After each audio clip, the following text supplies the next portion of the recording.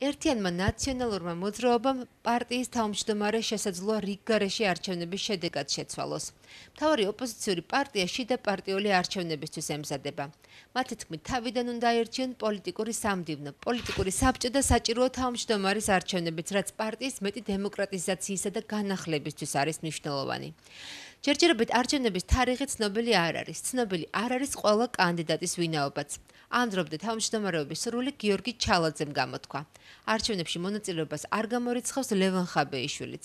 პარტიის მოქმედი თავმჯდომარე ნიკა მელიაკი აცხადებს, რომ ის ნებისმიერი ტიპის არჩევნებში ჩასაბმელად მზად არის.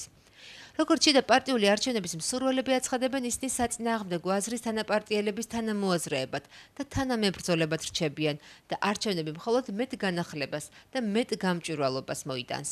ეს პროცესი რაც ახლა მიდის პარტიაში ტყუილა უხარიათ ოცნების წევრებს რუს ოლიგარქი ივანიშვილს ეს ხდება მხოლოდ და მხოლოდ იმისთვის, რომ პარტია გაძლიერდეს, გახდეს კიდევ უფრო მეტ ქმედითუნარიანი, კიდევ უფრო მეტად ორგანიზებული, წყობრი გეგმით და ერთი მხარე, მეორე მხარე, სინამდვილეში ვართ ჩვენ ერთი მხარე, ვართ მეგობრები, თანამებრძოლები, თანამოაზრეები და რაც არ უნდა გვიწოდონ, ახლა არ ვიცი, პარტიზანები, ვიკინგები თუ შავფაროსნები, ისინი ჩვენს მეგობრებად, ჩვენს თანამებრძოლებად, თანამოაზრეებად დარჩებიან.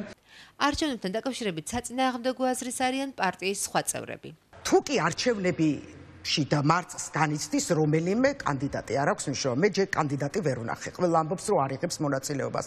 ჯერ უკანდიდატო არჩევნები რა არის წარმოქმნა არ მაქვს თუ მოაზრებული არ გაქვს. ვინ უნდა შეცვალოს ხო შეიძლება ნებისმიერი წევრი გახდეს თქვა რომ შეიძლება გადაიფიქროს მაგრამ ხო და ხო ხო შეიძლება ისე თქვას რომ არ გუში ხო თქვა რომ არ ვიყრე კეთსო ნახეთია გავიგე და პოლიტიკაში ხო თანმიმდევრობაა ყველაზე ფასეული. გუში თქვა რომ არ დღეს თქვა.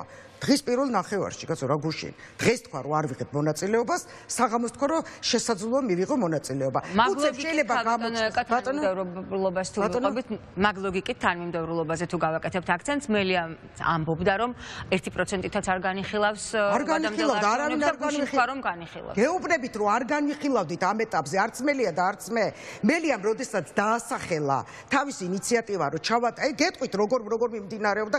დაიწყო სხდომა და თქვა ძალიან აღელვებულმა რომ ეს კამი თქვენ რა გონია თუ გამაგებინეთო ხო ჩემთვის არის ელექტროს კამიო პირდაპირ გეუბნებით რა კი მთხოვთ ამას საზოგადოებას არ ეგონოს რომ რაღაცას მე ვუმალავ ხო და ვცდილობ რომ რეალობა არ მოუხვა. ჩემთვის ეს არის ელექტროს კამი ჩემთვის ზიანის გარდა არაფერი არ მოუტანია ამას და გაცილებით კომფორტულად ვიყავი როგორც რიგითი წევრი ვიდრე თავმჯდომარე ეს როდის მოხდა? აი ეს ბოლოს შეხო სადაც ლევანი ესწრებოდა. ერთად ვისხედით ყველა ერთად. არავითარი გაზაფხულზე ეხლა გეუბნებით ერთი კვირა არა კი ბატონო ერთი კვირა არ არის გასული. თქვა რომ ჩავატარო დარჩევნები.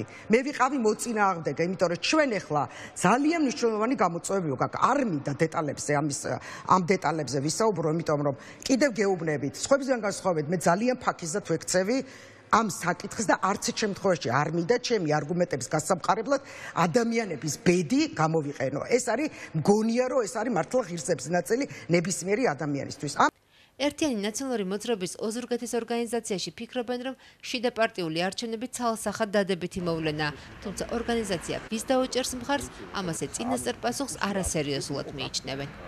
აა პირველ რიგში ცალსახად მინდა აღვნიშნო, რომ ეს არისო ჩემთვის პირადად სიახლე, რადგან ამის შესახებ დისკუსია თვეების განმავლობაში მიმდინარეობდა პარტიაში და ვიცოდით, რომ არჩევნებზე ყველა მხარე თანხმდებოდა რომ არჩევნები უნდა ჩატარებულიყო, რაც შეეხება ახლა არჩევნებს, მე ვფიქრობ, რომ ეს არის დემოკრატიული პროცესი და დემოკრატიული პროცესი მხოლოდ და მხოლოდ გააჯანსაღებს პროცესებს. მე ვფიქრობ, ეს არის დადებითი მოვლენა და ნაციონალურ მოძრაობამ აჩვენა, რომ მას შეუძლია იყოს ნოვატორი და ჩვენ ნახეთ, რომ ელექტრონული არჩევნები, პრაქტიკულად ელექტრონული არჩევნები დავგეგმეთ, დავნერგეთ ქვეყანაში და ამის შედეგად იქნა არჩეული დღევანდელი პარტიის თავმჯდომარე.